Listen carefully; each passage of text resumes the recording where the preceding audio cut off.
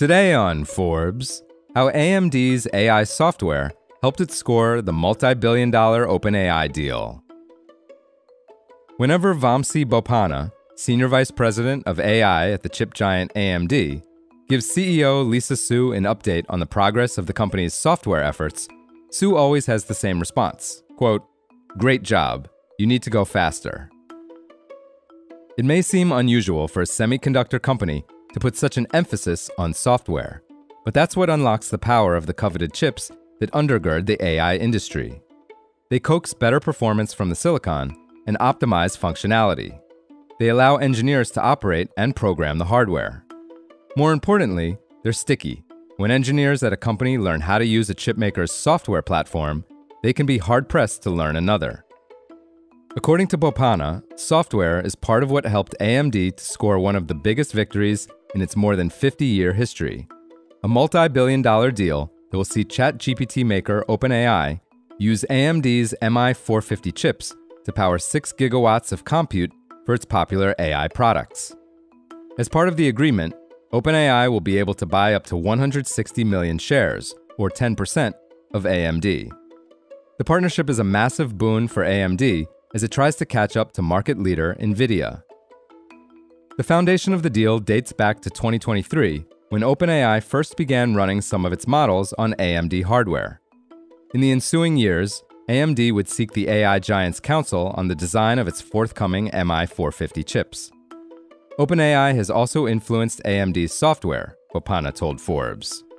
He said, quote, As our relationship with OpenAI deepened, we've expanded the engagements across all portions of Stack, but certainly on the software side. For example, AMD worked with OpenAI to make Triton, OpenAI's open source language for programming GPUs, compatible with AMD chips.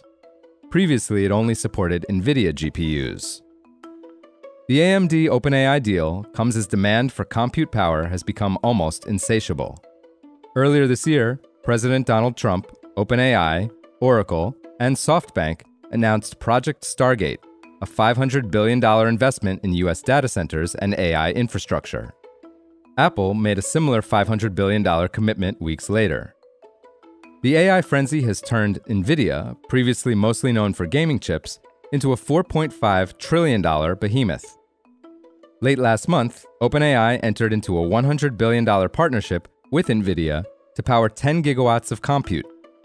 Meanwhile, a new generation of semiconductor startups, including Cerebras, SambaNova, Groq, and d-Matrix have sought to develop specialized chips for the AI era, optimizing for those workloads instead of the more generalized approach favored by the legacy players. Sid Sheth, CEO of d-Matrix, said that the explosion of AI services in the past few years means it won't be winner takes all when it comes to compute power. He told Forbes, quote, "The opportunity is just so large, there's no way OpenAI works only with Nvidia. Customers are now willing to go through the process of learning what it takes to work with AMD's software. For NVIDIA, software has long been seen by industry observers as a powerful tool to keep it entrenched in the market. CUDA, NVIDIA's programming software, for example, has created a formidable moat when it comes to training AI models. But when it comes to inference, or the computing it takes to actually run the models, the barrier is lower because it's a less complicated process.